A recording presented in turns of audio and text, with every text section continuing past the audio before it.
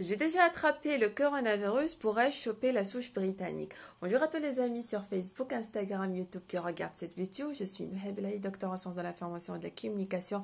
Voici le sixième épisode de ma playlist sur YouTube About Fact-Checking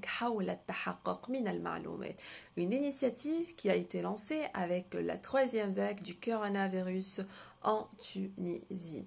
Euh, et donc, euh, cette fois-ci, j'ai fait un peu de retard, euh, étant donné que euh, j'étais plus ou moins donc euh, occupée avec le lancement du réseau arabe du journalisme scientifique. Le réseau arabe du journalisme scientifique, ça nous permet nous les journalistes de vulgariser donc l'information euh, scientifique. Et donc si vous voulez suivre donc l'actualité scientifique, vous n'avez qu'à suivre notre page Facebook si vous êtes vraiment intéressé par l'information scientifique.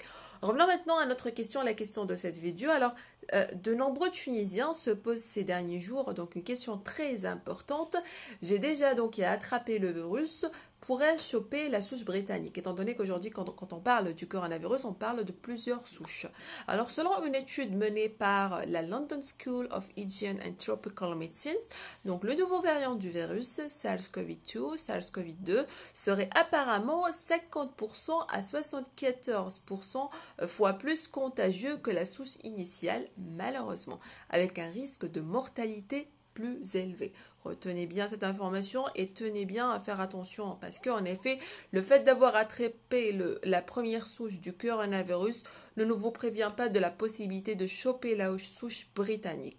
À titre d'exemple, un exemple en fait euh, plus ou moins récent, on sait qu'une variante mutante du virus est responsable de la mort d'un homme de 73 ans du sud de l'Allemagne euh, fin décembre réellement fin décembre dernier après euh, qu'une deuxième infection donc au Covid-19 et qui a fait et qui a en fait entraîné une pneumonie et une défaillance d'organes multiples. Donc il a été touché quand même par la deuxième donc souche et malgré qu'il a été déjà rattrapé le virus. Et on ne sait pas jusqu'à présent à quel point l'immunité que nous disposons à partir de l'infection initiale pourra donc nous protéger et pour combien de temps exactement. Donc nous ne disposons pas actuellement l'information.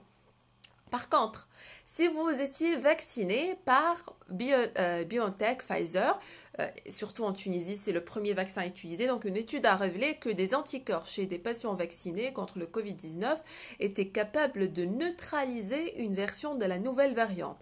Et donc les chercheurs, qu'est-ce qu'ils ont fait? Ils ont testé 10 mutations de la variante B117 euh, qui a été identifiée pour la première fois au Royaume-Uni. Bref, le fait d'avoir attrapé le virus initial ne vous provient pas d'une euh, deuxième euh, contamination par euh, donc la souche britannique si vous cherchez une réponse.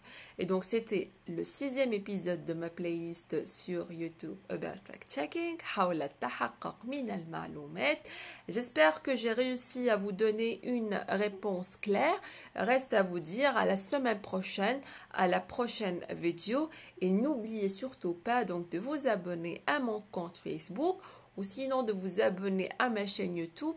Comme ça, vous pouvez recevoir une notification donc quand euh, je vais publier la prochaine vidéo et vous trouverez bien évidemment plus de détails donc à propos de cette question-là dans mon article publié sur le journal électronique tunisien Espace Manager.